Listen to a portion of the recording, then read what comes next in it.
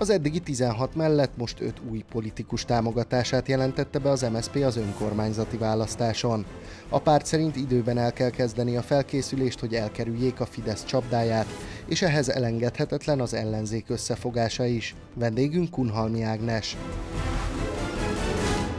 Az MSZP társelnöke, jó estét kívánok, köszöntöm nálunk. Jó estét kívánok. Ahogy itt eh, kollégám idézte, azt mondta a hétvégén, hogy összefogásra van szükség az önkormányzati választásokon, egyszerűen erre van rákényszerítve az ellenzék. Ezt elmondta már az MSZP elég sokszor itt is, ebben a stúdióban is egyébként, de nem úgy tűnik egyelőre, hogy az ellenzék többi párt pártjától fogadókészségre találtak volna. A színfalak mögött egyeztetnek-e, vagy ott sem? Nagyon is van fogadókészség. Tulajdonképpen csak két párt részéről nem volt fogadókészség, abból is az egyik egyébként helyben hajlandó ö, tárgyalni, tehát csak a demokratikus koalíció volt az, aki azt mondta, hogy helyráérünk arra még, hogy nincs itt semmi keresni valója a sürgősségnek, meg az LMP, egyébként ezt sajtónyilvánosan is elmondták, a többi párt az mind helyben már egyébként el is kezdte a tárgyalásokat, és nagyon helyesen, hiszen telnek a hetek, telnek a hónapok, és mindent elkövet a Fidesz azért, hogy a 19-ben felállt demokratikus városvezetéseket kitakarítsa a rendszerből. Nem véletlen, hogy az EP és az önkormányzati választást egy napon tartják.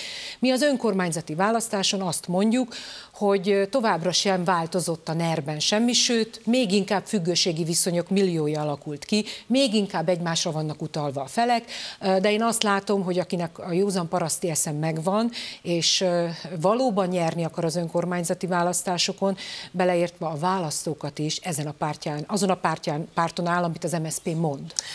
Azt mondja, hogy helyben már elindultak ezek az egyeztetések, de talán három hete is van annak, hogy bejelentették, hogy levélben a párt elnökökhöz is, ugye erről beszélt Igen. az előbb fordultak, hogy országos szinten is egyeztessenek. Az lmp és a DK-n kívül a többi párttal egyeztetnek már, vagy megvárják a Erről nem tudok beszámolni, többieket. mert erről nem illendő, de nagyon pozitív fejlemények vannak, és ezt értse jól szerkesztő asszony. Én úgy értem, a... hogy igen, akkor egyeztetnek. Értse jól szerkesztő asszony, ön is, és a kedves nézők is. Most sokkal inkább egyébként a versengés látszik az ellenzéki oldalon, mint az összefogásra törekvés. A DK csörtézik a Momentummal, most egy volt jobbikos ment át a DK-hoz, de az MSZP politikáját is érinti a DK, mert például most hétvégén a Miskolci rendezvényen azt mondja Dobrev Klár, hogy a DK az ellenállás erejének az otthona, Gyurcsány Ferenc korábban már elmondta, hogy a DK az Orbánnal szemben állók otthona. Ezt elfogadja az MSZP, mert a támogatottságuk viszont kisebb, mint a demokratikus koalícióé. Tehát lehet azt mondani, hogy összefogás és demokratikus az ellenzék, de ott majd az diktál, akinek ereje van és tud diktálni. Az nem? MSZP fölismerte a NER-nek a sajátossága, a rendszerét. Tehát és ehhez muszáj lenne figyelembe vennie minden pártnak. Az MSZP-nél most vannak kisebb pártok, és van egy nagyobb párt is. Ebből kifolyólag meg kell érteni, hogy nem 2010 előtt vagyunk azt, amit mondjuk Dobrev Klára vagy a Demokratikus Koalíció mond, az egy 2010 előtti, egyébként más típusú választójogi rendszerben, szabad sajtó mellett, nem a NER függőségi viszonyainak hálójában, egy állampárti viszonyrendszerben, azt mondom, hogy a versengésnek helye van. De amíg a NER van, és a NER után is lenne, de nekünk meg kellene teremtenünk, és ezt egyedül nem tudja senki megtenni, csak közösen tudjuk megtörni a NER-nek ezt a nagyon durva rendszerét, amit kiépített. De a DK is beszél összefogásról. Egyrészt ugye azt mondják, hogy nincs itt az idő, másrészt, hogy ők akarnak ennek a vezető ereje lenni. Ezért kérdés, hogy elfogadja ezt például a Magyar Szocialista én, én azt gondolom, hogy nem beszélni kell a, csak a baloldaliságról, meg baloldali lozungokat mondani, meg azt mondani, hogy koalíciós kormányzás kell, meg kell együttműködés, ezért tenni kell. Hát az MSZP ezért hívta tárgyalóasztalhoz többek között a demokratikus koalíciót is.